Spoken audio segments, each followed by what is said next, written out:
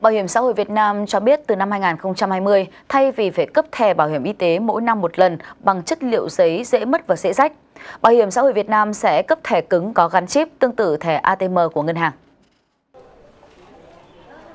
Theo đó, sử dụng thẻ này đồng nghĩa với việc người bệnh đã có mã định danh liên thông tại các cơ sở y tế và cơ sở bảo hiểm có liên quan.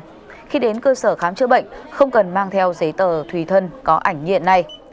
Ông Ánh cũng cho biết loại thẻ này sẽ được cấp cho người tham gia từ năm 2020.